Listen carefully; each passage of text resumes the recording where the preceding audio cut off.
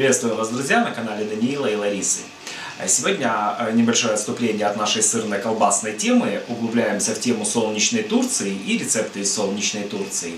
Баклажаны с фаршем по-турецки. Еще их можно с натяжкой назвать баклажаны с фаршем под соусом бешамель. Э, ну, как вам будет э, приятнее, как вам будет интереснее. На самом деле баклажаны с фаршем по-турецки, потому что такие баклажаны мы не раз Такими баклажанами мы не раз лакомились в Турции, в Солнечной. И вот, э, если вы смотрите наш туристический блог, мы недавно вернулись из Турции, несколько блюд оттуда привезли. Вкусных, классных. Попробуйте, вам понравится для приготовления баклажанов по-турецки нам понадобятся баклажаны. Ну вот смотрите, э, у нас в этом году урожайчик вот таких вот баклажанчиков смешных. Э, это какой-то особый сорт, э, покупали как обычные, уродили у нас смешные. Поэтому мы их сейчас потихонечку съедаем и перерабатываем. Для этого рецепта вы можете купить обычные баклажаны, которые еще у нас называются синенькие. То есть не обращайте внимания на наши чудные баклажаны. Итак, нам понадобятся баклажаны, томат, цибулька или лучок. Меня спрашивают, а что ты лучок не называешь цибулькой? Цибулька. Э, три зубчика чесночка. Э, говяжий фарш. Э, молотая кинза и молотый базилик. Сливочное масло. Мука и сливки. Все ингредиенты и текстовый пошаговый рецепт приготовления вы найдете в описании видео. Давайте начнем. Итак, Лариса у станка, я у камеры. Подготовим баклажаны. В первую очередь их порежем. Сильно мелко нарезать баклажаны не стоит. Нарезаем их кубиками сантиметра по полтора. Вот примерно вот так вот. Нарезанные баклажаны хорошенько посолим, перемешаем и отставим в сторонку. Томат или помидор, как вам, что вам больше нравится, надрезаем крест-накрест и ошпариваем кипятком, для того, чтобы легче снялась шкурочка. Пока помидор ошпаривается, порежем цибульку кубиками где-то по пол сантиметра. Ну, примерно вот такими.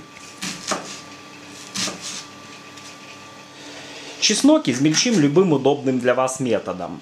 Можно мелко порезать, можно натереть на мелкую терку, а можно э, пропустить через чеснокодавилку. Но последний вариант мне нравится меньше всего, потому что очень сильно выдавливает сок из чеснока. Все-таки мы предпочитаем чеснок измельчать вот таким вот образом, мелкой нарезкой. Запаренного помидора снимаем кожицу, благо после того, как он запаренный, кожица снимается очень легко. После этого нарезаем его на кубики примерно по одному сантиметру. Вот как-то вот так вот. А пока Лариса дорезает помидорку, я хотел бы внести некоторую ясность по фаршу. Совершенно не обязательно использовать говяжий фарш, можно использовать свиной и даже куриный. А, просто в Турции, э, в силу того, что свинину большинство населения там не употребляет в пищу, чаще всего такую, такое блюдо делается из говяжьего фарша, иногда из баранины, но нам из говядины нравится больше. Поэтому, друзья, если нет говядины, берете среднежирную свининку или даже курицу, пожалуйста, у вас получится курица с баклажаном баклажанами. Засоленные баклажаны промываем в холодной воде, отжимаем и выкладываем на бумажное полотенце, чтобы они немножко, ну, чтобы обсушить их, чтобы воды не было, потому что будем сейчас их обжаривать. На разогретую сковороду добавляем растительное масло и обжариваем баклажаны до золотистого цвета. Как обычно, я включаю секундомер и в конце жарки скажу, сколько времени мы их обжаривали. 6 минут обжаривались баклажаны и имеют вот такой вот красивый вид. Перекладываем их на тарелку, освобождаем сковороду.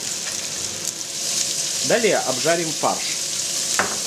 Я опять-таки включаю секундомер. И тут, э, смотрите, фарш нам обжаривать именно до корочки, до золотистого цвета не надо. Надо его немножко э, выпарить, чтобы из него выпарилась лишняя э, жидкость.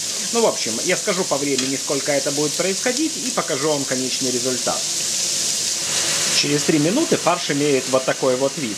То есть, видите, он разделился, и жидкость немножко выпарилась. Присолим фарш, добавляем цибульку, и обжарим еще 2-3 минутки с луком. Добавим чеснок. Обжарим буквально полминуты, ну, до минуты. Я думаю, даже нет, полминуты, максимум секунд 40.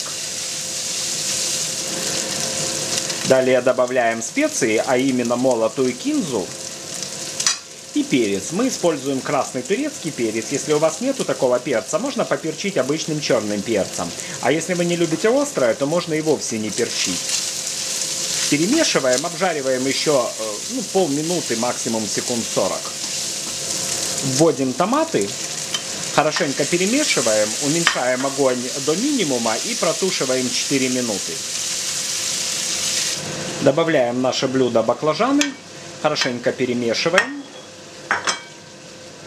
и перемещаем нашу заготовку в форму, в которой блюдо будет запекаться в духовке.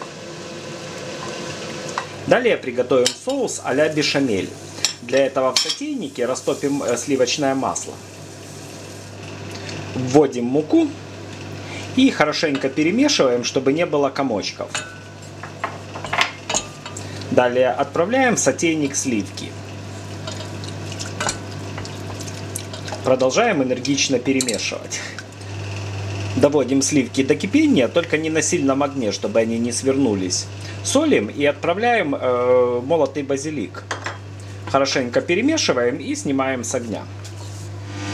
Заливаем готовым соусом баклажаны.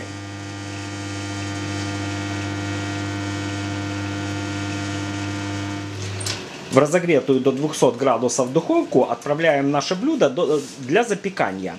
И смотрите, тут ориентировочное время запекания 15-20 минут. Все зависит от объема вашего блюда, поэтому точное время я вам сказать не могу.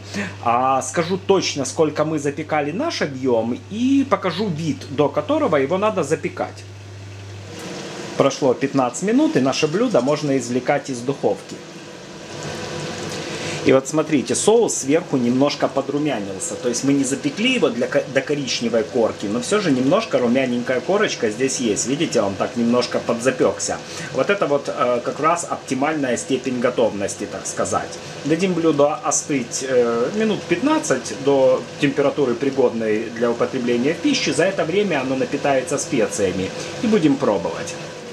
В результате, друзья, получили очень вкусные нежные баклажанчики с приятным соусом и очень ароматным, ну и, естественно, с фаршем. Давайте попробуем.